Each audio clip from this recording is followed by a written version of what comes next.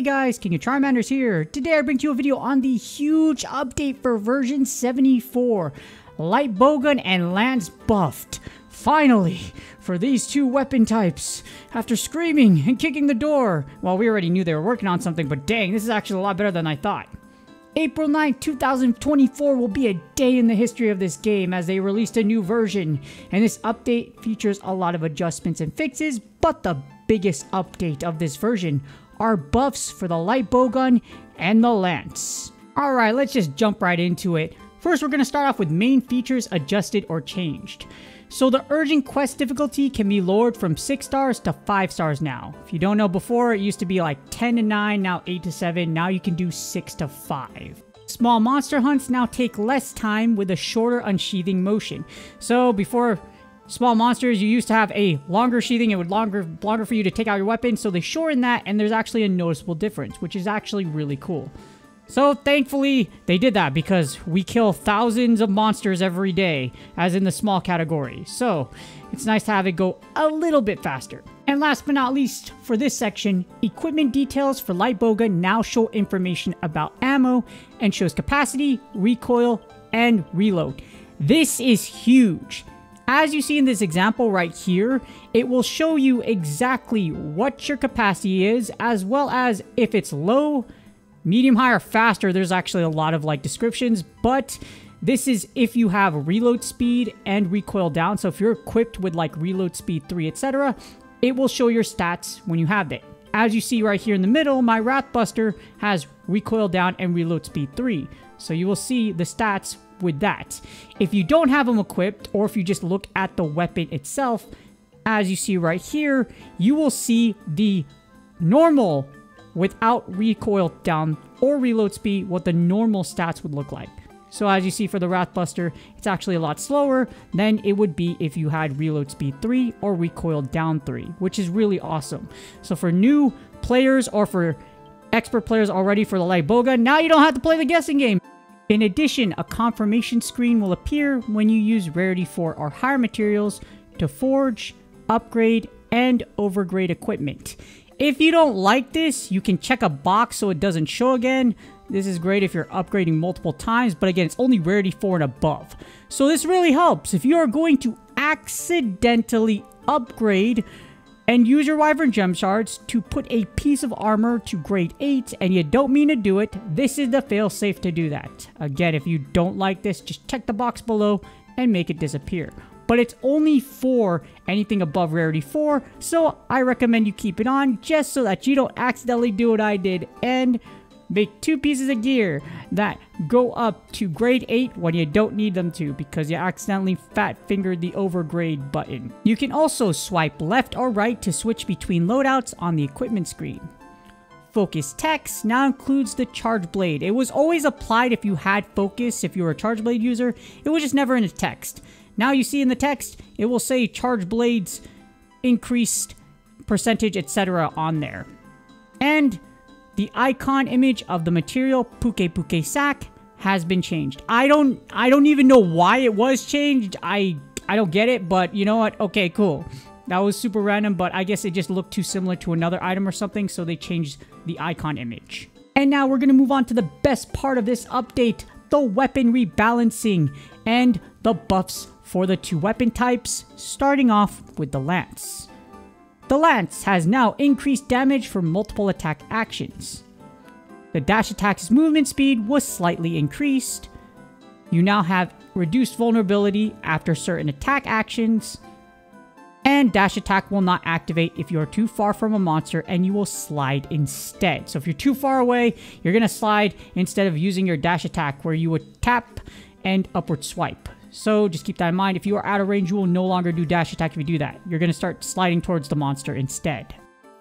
But that's not all. You also have knockback transition from guarding to guard dash is smoother, increased movement distance when thrust is activated while away from the monster, and other minor adjustments have been made. I'm not sure what they mean by minor adjustments or anything like that, but yeah, this is really solid for the Lance. And the second weapon that got a buff due to the weapon rebalancing is the light bowgun. And as someone that's also using a light bowgun a lot because it's my secondary fire attack weapon and I want to get the light bowgun and every other weapon of gold, I'm starting to love it. And it just got buffed. First off, we have the special skill fill gauge rate increases for normal and sticky ammo, which is really great because most light have normal ammo, and sticky ammo is incredibly powerful, and you will now get an increased rate by landing these shots. You also have increased build-up value affecting certain status ailments and part breaks for sticky and slicing ammo. So part breaks for slicing ammo if you're trying to cut off tails, etc. That just got increased. And sticky ammo, if you don't know and you're not a light main, it can stun if you aim at the head. So this increases the buildup for the sticky value. It's going to be really interesting because I want to experiment with Slugger and to see just the stun potential since the buildup has been increased for sticky ammo. But don't even worry about it. If you don't do those types and you like spread damage, guess what? Spread ammo damage actually increased. So if you like being up close and personal and sticking your shotgun in front of their face, bam, you can just fire away and knowing you will have increased damage. But that's not all, as Pierce Ammo's number of hits increased, but damage decreases after a certain number. So it operates a lot like a bow, your first couple of shots will do more damage, and then the rest that go through it do less. But it's pretty cool that Pierce Ammo is getting, like, not just Pierce Ammo, but all ammo types actually got a buff. And it's really cool to see the Light Bowgun finally gets the respect it deserves. In addition, there is various other minor adjustments. And now the not so cool things, but you know what? They might be good for some. We have the fixed issues. The UI not displayed while hunting. This one is actually kind of annoying. I think I got it before and I was like, what's happening? So I have to restart my app and then redo the hunt. For the charge blade, it's difficult to evade sideways. This was actually a thing where I figured was kind of weird because when I was using the charge blade, sometimes I would, like I mentioned, I'm trying to get all the gold medals, so I'll do some weapons here and there, and I was like, why is it a little, I feel like it's harder. And I guess I was right for the charge blade as far as evading.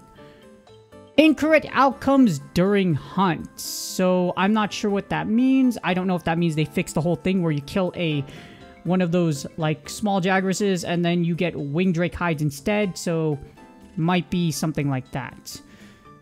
Field unlock timing for Pink Rathian was incorrect. It unlocks upon clearing chapter 9-4 of the season story now. Honestly, I didn't notice this before and Pink Rathian was so dang rare, I don't know if anybody actually noticed it as well. And last but not least, we have others. They're experimenting to enhance matchmaking of huntathons in regions in Japan. From the first to the fifth monster, each lobby will be matched with a distant point, which is a farther hat. So I'm guessing what happens is that if you can't find anybody for this one, they'll like SOS flare or something like that to another hat point be like, hey, you want to join this one?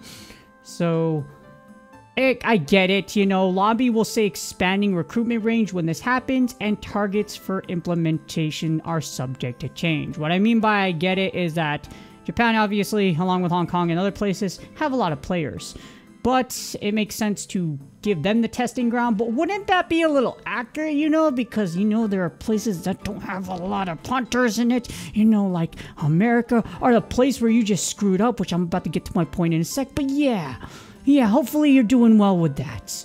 Anyways, I'm about to just roast in the next section. In closing, I was super happy to see that Lance and Light Bowgun finally got the buffs they deserve.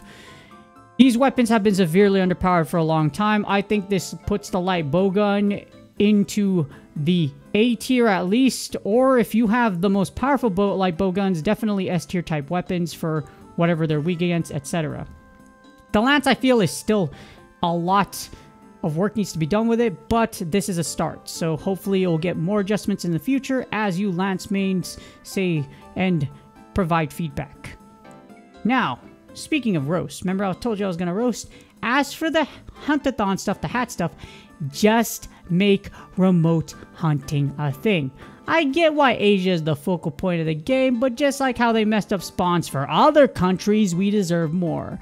So y'all thought I was gonna slide when it came to the Canada, UK thing and other areas having their spawns disappear out of nowhere. Now given Capcom, you fixed it really quickly, but let me tell you something, instead of doing all this experimenting and everything like that, just give us remote hunting.